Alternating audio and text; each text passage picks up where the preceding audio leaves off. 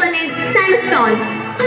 Hey friends, I am the first example of sedimentary rock. I am sandstone. Now meet my second example, limestone. Hi friends, I am the second example of sedimentary rock. I am limestone. Now meet my third example, silt.